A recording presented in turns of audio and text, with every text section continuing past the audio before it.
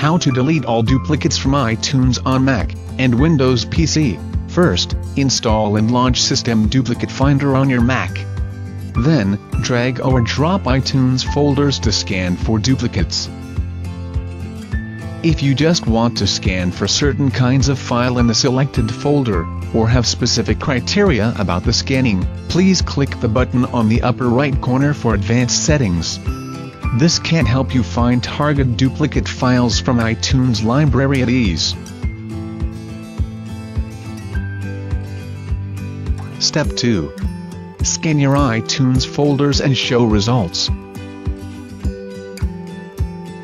Here all duplicate files listed on a colorful pie chart, which spots the most problematic file type.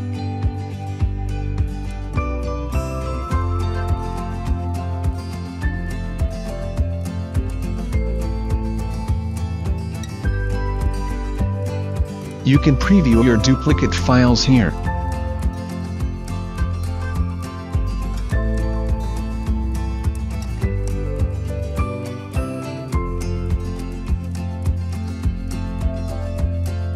Select the duplicate you want to delete, you can choose Smart Select or other select model. Step 3. Delete duplicate in iTunes on your Mac with Cisdem Duplicate Finder.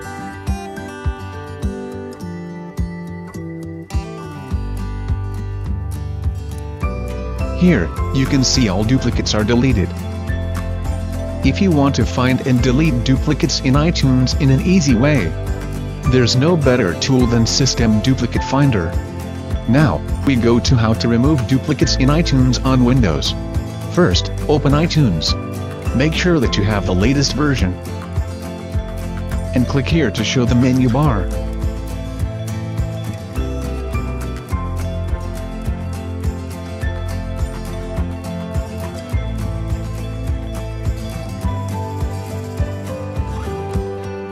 Second, from the menu bar at the top of the iTunes window, choose View, and Show Duplicate Items.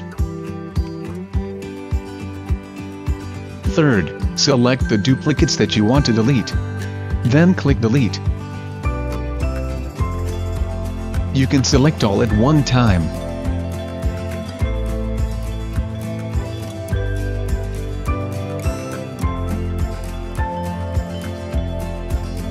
When you're done deleting duplicates, click Done.